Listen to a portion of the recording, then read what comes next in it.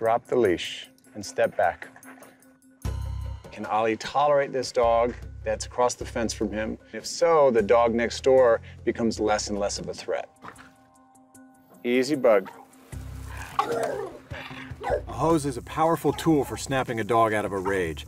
A blast of water near the face usually gets their attention fast. Okay, that's important to see.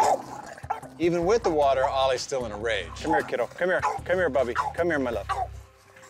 Come here, Ollie. Come here, kiddo. Come here. Come here. Come here. Okay, come here. Come here. What I make of what I'm seeing with Ollie is he is so fearful and, and, and consequently aggressive around the fence, he goes to kill. And when he goes to kill, nothing else matters. Is that similar to what you're seeing? Yeah, And if we had let him go, you think he would have gone under the fence? absolutely. Okay. That's what just in my insides just turn inside out. Come here, kiddo.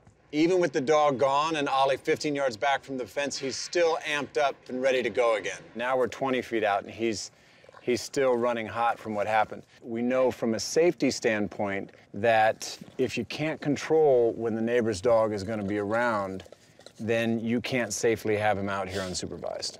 Okay. No wiggle room. Ollie is deeply insecure, but he acts out like a bully, trying to control all the other dogs around him with dangerous aggression. So being mindful about what you do in the yard, Okay. keep being mindful about how and when you give affection, and then we'll see him at the Zen yard soon. It's worth it. Yeah. Yeah.